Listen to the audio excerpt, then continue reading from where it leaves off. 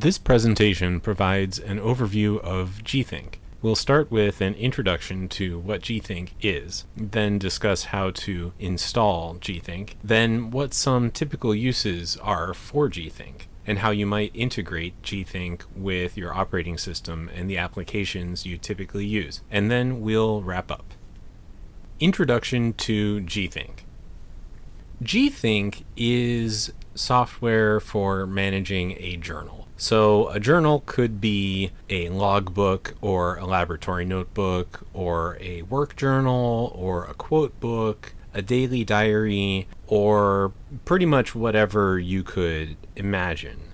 The main characteristic for the journals that Gthnk manages is the chronology, the use of time to organize all of the entries that exist within the journal in Gthnk, entries are organized by day, and entries are further organized by the hour and the minute, the time when the entry was created.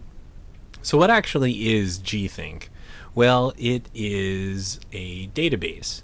It's something that is always running on your computer always waiting for you to ask it questions. You enter your thoughts or your notes into a text file that is, we call it a journal. And every night, those notes will be imported into the Gthnk database automatically. The notes that you make can be written using the Markdown language, so you can include images and links and formatting and other things that make notes more useful once the notes are in the Gthnk database, then you use any web browser to access those notes.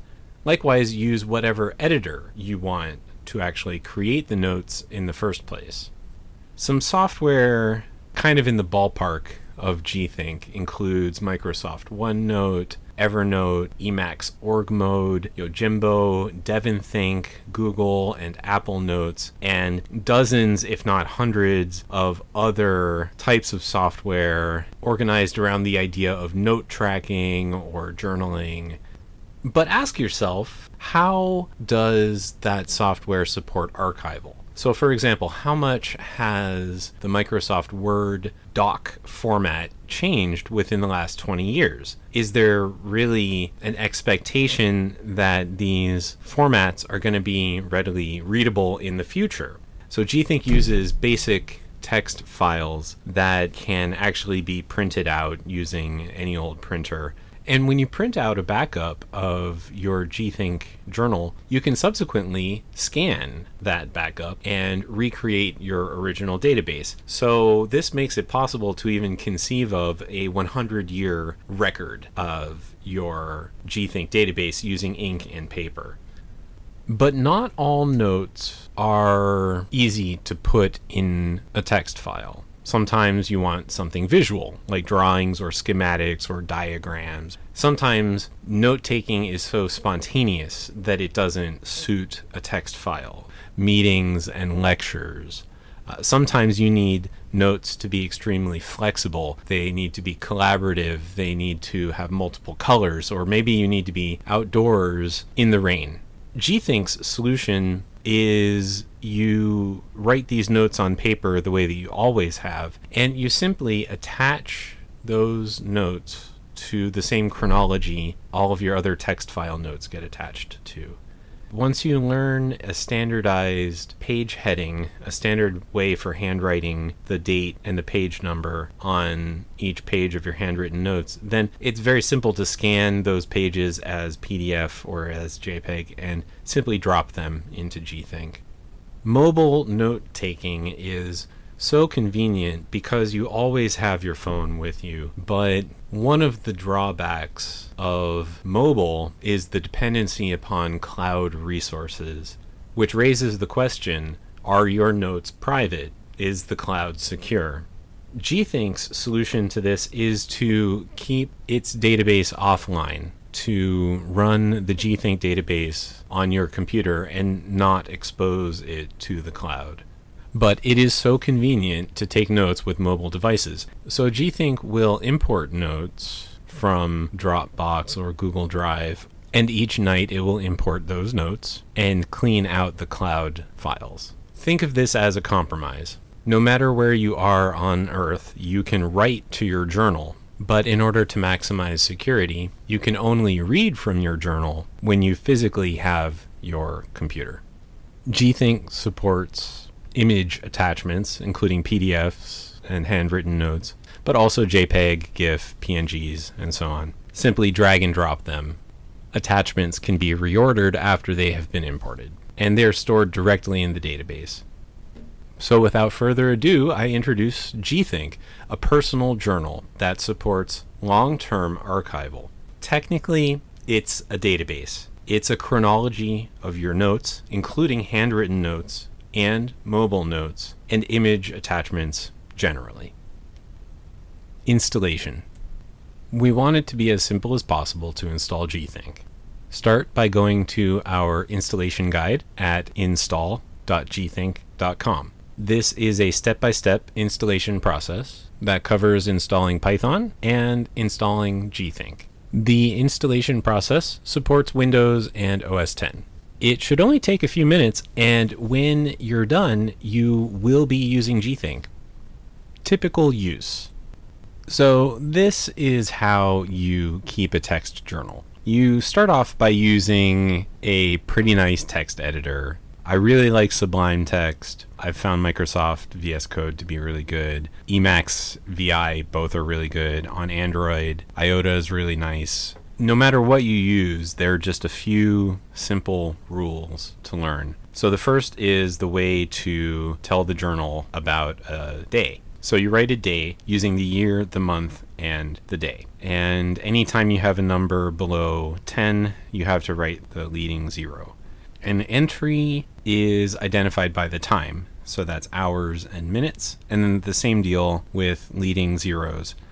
You need to use military time, so 1 p.m. is 1300.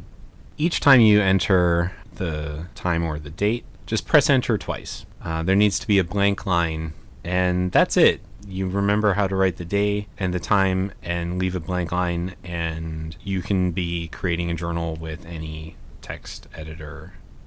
So, journal rotation is an automatic process. Every time that it runs, Gthnk will take whatever comes out of your journal and put it into its database. This is how stuff gets into Gthnk. And you can manually trigger this with the refresh button in the user interface. Whenever this happens, it'll clear out the entries in your journal and that way you can start a new day with a blank file. For this to really work, your text editor needs to recognize when the file has been changed. Most text editors do this. One of the most useful features of Gthnk is the ability to, to search through your notes. So the Gthnk landing page provides a search box, just type in whatever word you're looking for and hit enter. And there's also a search button, it's a little magnifying glass in the user interface. The search results will link to the day for the results, which makes it pretty easy to find related notes also. Each morning at 9 a.m., Gthnk launches a review of the most recent entries. This happens automatically. It's just a good practice to look at your notes from the day before integration with applications and the operating system. So Gthnk is always running. It is a local web service, and there are lots of cool ways to hook into Gthnk. And when you do this, when you integrate with Gthnk, you can end up going much faster. There are lots of ways to use web browsers to integrate with Gthnk. Gthnk loads in any web browser, but you can also add Gthnk as a search engine to many web browsers like Firefox and Chrome. This enables you to search your notes directly from your web browser. Some web browsers also support adding websites as applications. I know this works with Chrome at least, and maybe others. Text editors provide several opportunities for integration.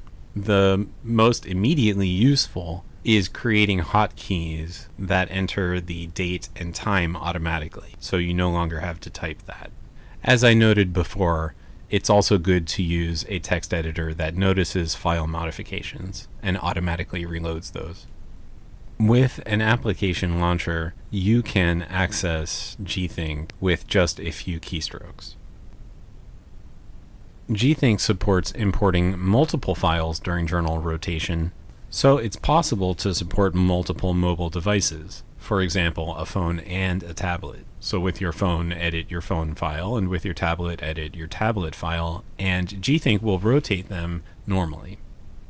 In summary, gthnk provides lots of ways to integrate. Each one of these is an opportunity to mesh with your daily life and enable you to work faster. Conclusion gthnk is a personal journal that supports long term archival. Technically, it's a database a chronology of your notes, including handwritten notes and mobile notes and image attachments generally. The gthnk project provides lots of online resources, including a website, extensive documentation, the source code as an open source project, an issue tracker for bugs and other issues, the Python project, a blog for updates, and a chat room. This presentation used lots of online images, which are all linked off of this page. Now that you know more about gthnk, go to install.gthnk.com to get started. Thanks for watching.